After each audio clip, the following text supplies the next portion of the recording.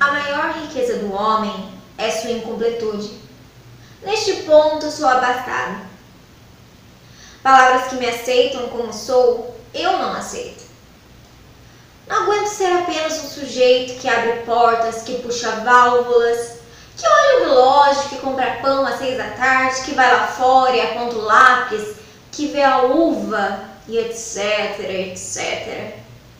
Perdoai, mas eu preciso ser outros. Eu penso renovar o homem usando borboletas.